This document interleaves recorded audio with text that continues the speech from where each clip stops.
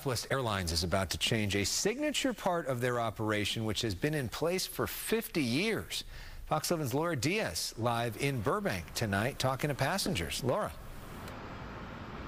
Yes, Alex, it's so very true. For five decades, they had no assigned seating, and it worked well for them. People would line up, they'd rush to get on the plane and find a good seat. But as you just mentioned, that's all about to change. I like getting on the plane at the last minute and getting off at, at, the first. So because they don't have assigned seating, I can just grab one of the seats up front. At the Burbank Airport Thursday evening, summer travelers were busy catching flights on the handy Southwest Airlines. The no fuss casual airline is known for its open seating feature. But soon, flyers will have to buy assigned seating. And the changes won't end there.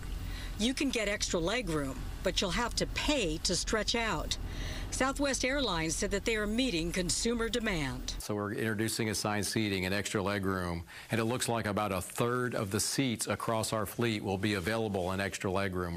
I mean, my legs are short, so I don't need any extra room. Eh. I think it's a minus. But for families trying to stretch their travel dollar, the changes to Southwest could be bad news, says one travel journalist. The bottom line is uh, you can expect ticket prices to go up, uh, law of supply and demand. That doesn't bother me at all. Their Southwest has always been a good airline. They're very uh, courteous.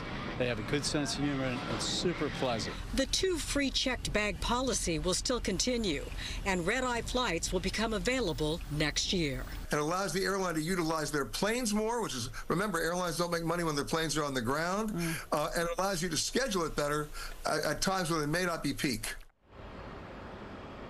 So that is the bonus. They're going to start flying overnight across the country. Laura Diaz reporting live from Burbank Airport, sending it back to the studio.